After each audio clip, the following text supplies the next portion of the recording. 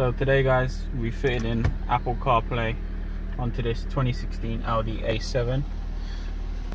You can see the unit, original one here.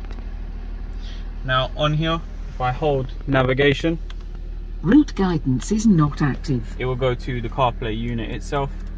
And then from there, I can have whichever I like. If I play some music. Through. You can control everything from your steering wheel still. And we also fitted in a reversing camera with moving guidelines. If I put this to reverse, there you can see, still has the sensors mobility as well. Left and right.